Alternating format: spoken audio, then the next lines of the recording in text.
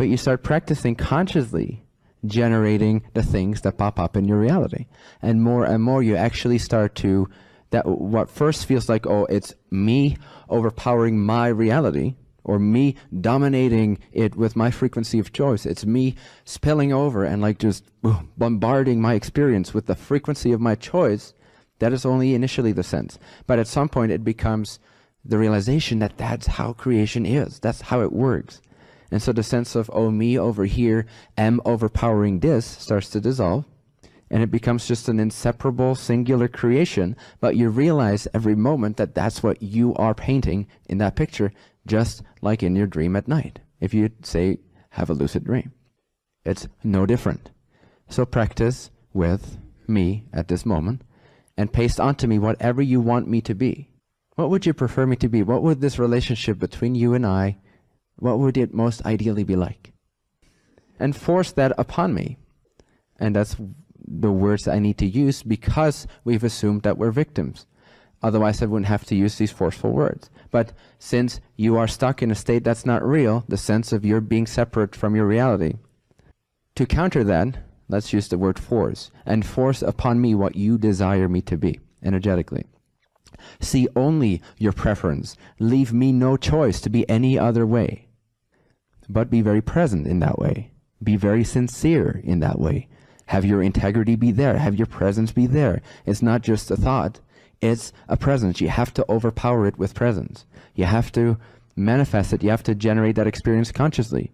Because you do that normally, you do that from a state of high, super high, fine-tuned presence, high frequency state. That's from where you generate rea reality. So you need to sort of match that in order to get some results and in order to become more conscious of the fact that this is what you're doing all the time. You are God. You are God. There's nothing else that you are. You are God. So overwhelm me with you. What would you prefer me to be? I start undressing, I start dancing, all these different things.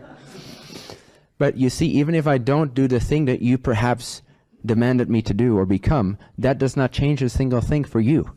All you keep seeing is your preference all you keep feeling is your preference. In your mind, in your consciousness, I still am what you desire me to be, no matter how I act, no matter what I say, no matter what I think, no matter how doubtful it may seem, no matter how unsuccessful your generation may seem, that does not matter to you.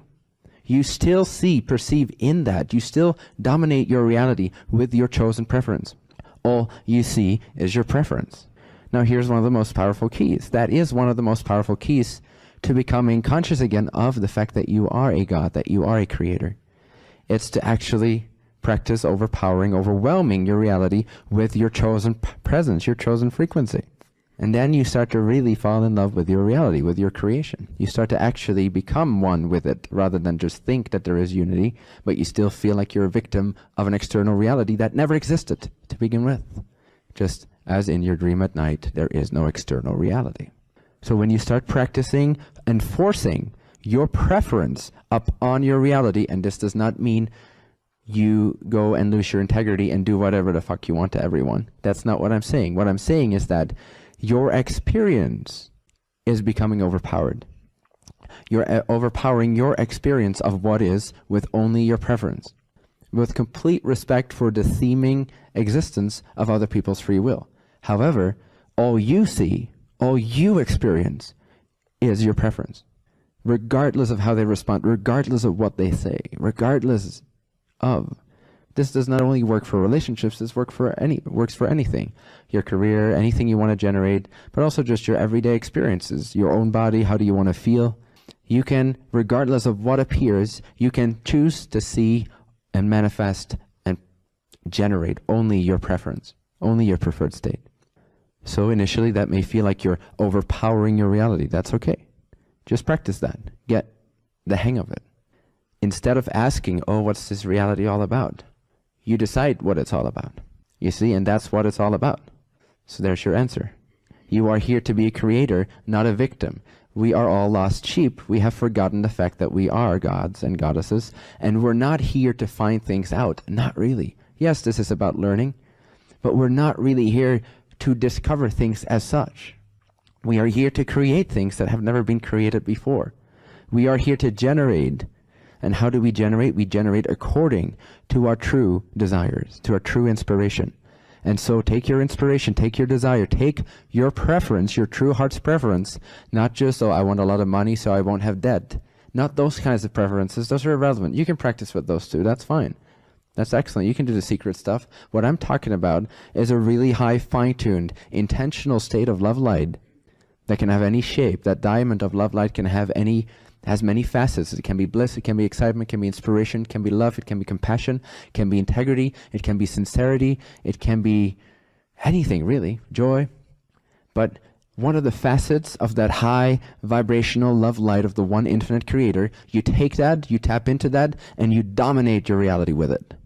You don't care what anyone else thinks. You don't care what anyone else says. You don't care what anyone else acts like. Doesn't mean, again, that you're not present to these beings. It simply means that all you interpret and all you perceive and all that you generate is the state, the state, the mind state, the thought state, the, the energy state of your preference. That's all you do. It doesn't matter what they say. So again, it doesn't mean that they have to start acting in certain ways. But you'll see that when you start exuding your preference and when it really is in alignment with your higher self and quote unquote their higher self, even though there is no external reality, then it does start happening in that way, and they do start responding in that way. But not because you told them to, not because you dominated, but because you generated that frequency that took you into the parallel reality where that which was in highest best interest for quote unquote both of you is now becoming manifest. It's because you did not hesitate. It's because you did not doubt. It's because you did not become a seeker. You did not become a questioner. You did not feel like you were present in a universe that already existed that you had to take your cues from. You see, there is no universe that already exists that you have to take your cues from. That universe, my friends, does not exist. It has never, ever been present. It has been made up by whom? By you. You have created, you have generated the illusion of an external reality that you somehow have to listen to. So you generate a reality that seems external for you. You, you generate a focal point of a body-mind, and then you generate the thought process that the focal point of the body-mind is somehow not the focal point of the environment or everything else. And then you generate the thought, well, what it means like to be sociable, or what it means like to be honorable, or what it means like to be compassionate, is to really regard that reality outside of myself as the end all be all. I have to listen to what mommy and daddy says. I have to listen to what happens to me from the outside. If I don't, I'm being arrogant, I'm being egotistical. But you see, you generate Katrina, you generate the effects from the outside in, you generate the other person, you generate the sense of separation, you generate the focal point of the body mind. There has never been that world that you feel that is external to you that you need to listen to. That is a thought.